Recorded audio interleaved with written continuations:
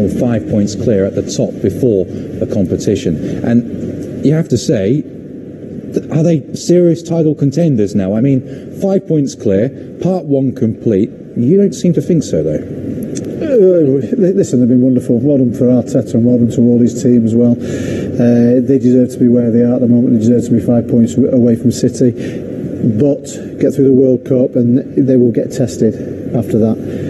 it's wonderful what they've done, but that's when people will start taking notice and saying, well, let's have a look, let's see if you've got the minerals, let's see if you're really ready. They look like they are, they're full of confidence at the moment. When they have a few little blips and things don't go so well for them, you know, that's, that's when you have a look at the character. But you know, it's quite strange about just over a year ago when they were looking at Arteta. Remember the result against Brentford? Mm-hmm. You know, and they gave him a bit of stick. Well, wow, it's, it's turned out to be a fantastic appointment.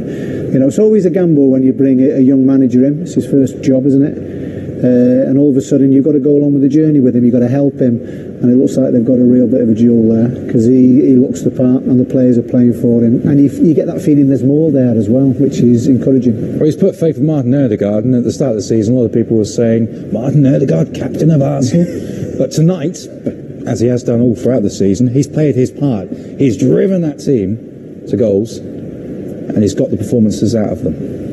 Yeah, sometimes you know you see people you you you, you say uh, they're, they're, not leaders, but they, they can be technical leaders. They're they're more than you think in the, into the dressing room. Sometimes you don't need to shout a lot. You know.